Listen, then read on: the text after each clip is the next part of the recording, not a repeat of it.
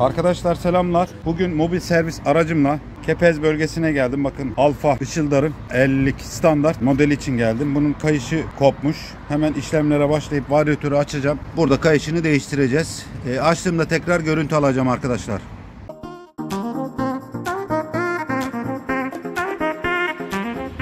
Evet varyatör kısmını aç. Kayışımız zaten dolana dolana kopmuş. Parçası da arka varyatörde kalmış. Bunun hemen değişimini yapacağım. Motora yol vereceğiz.